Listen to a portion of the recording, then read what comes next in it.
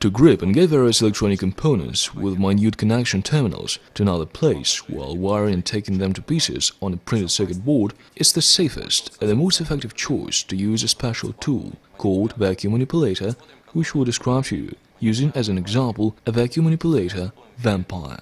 This tool looks like a mechanical pen and is designed for gripping flat surface of the cabinet, various components, BGA microcircuits, QFP and SMD chips for example. Vampire is very easy in use. You should just put a needle with a suckling dish of a proper diameter on a plastic pin switch.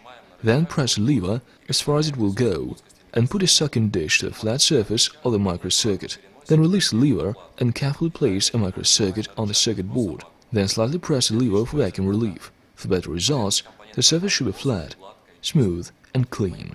The manipulator has a smooth running of the piston and impermeability of vacuum container that is ample for holding a microcircuit for several seconds.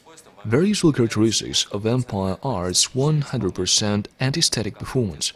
There are anti-static plastics, rubber and metal used in construction. It's very important because most microcircuits undergo damages caused with static electricity. Thus, vacuum manipulator Vampire is rightfully considered to be a professional auxiliary tool in plumbing.